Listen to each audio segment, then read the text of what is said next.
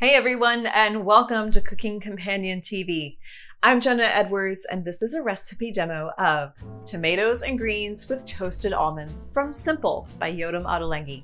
Give this video a thumbs up if you like it. In the video, I demo half a recipe, but I'll narrate a full recipe. Let's prep our Swiss chard. We need 500 grams or one pound-ish, which is about two bunches. We'll remove the leaves and roughly chop them then thinly slice the stalks. We also need four and a half ounces or 130 grams of spinach, roughly shredded. I just weighed out frozen spinach, which is thawing in the upper left corner. And thinly slice two garlic cloves.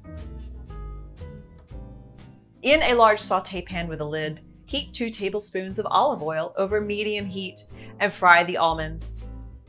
Half a cup or 50 grams of them along with half a teaspoon of paprika. I have accidentally poured in the garlic here, which was preemptive of me. They should not be cooked at this stage.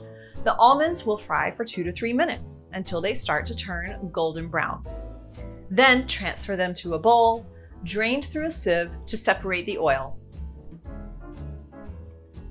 Return the pan to medium-high heat with two more tablespoons of olive oil and add the garlic and one and a half teaspoons of caraway seeds to fry for one minute. If the garlic were here, it would be sizzling and browning. Carefully add two cans of plum tomatoes, or 400 grams each, with their juices. If the pan is super hot, the liquid will hiss and it'll pop, so be careful of that. And add all the chopped chard and the stalks and season with 3 fourths of a teaspoon of salt stirring it all up and crushing the tomatoes as you go. Cover the pan and continue to cook for 20 minutes, stirring occasionally until the chard wilts and the tomatoes break down. In the meantime, we'll prep all the herbs. Chop 35 grams of mint or one and three quarters of a cup. I love the flavor but I do not like the texture of mint, so I chop it up real, real, real, real good. And then the same amount of dill, 35 grams or one and three quarters of a cup.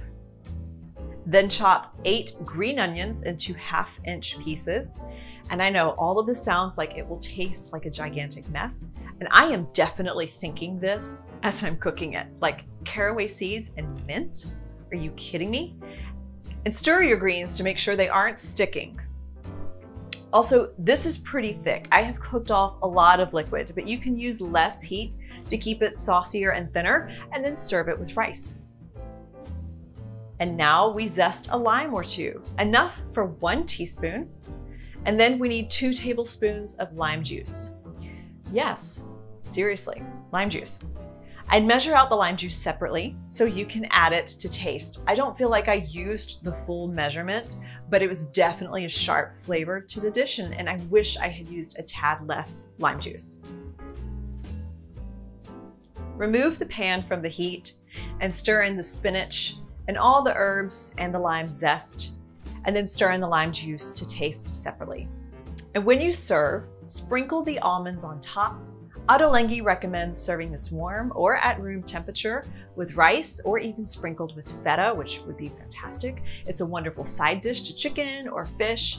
I just left the plate out all day and I would take a few bites throughout the day and it was hugely satisfying. It is the most random combination of ingredients I think I've ever seen, but I get it.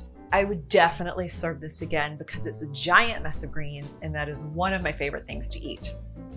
I look forward to hearing how much it also surprises you.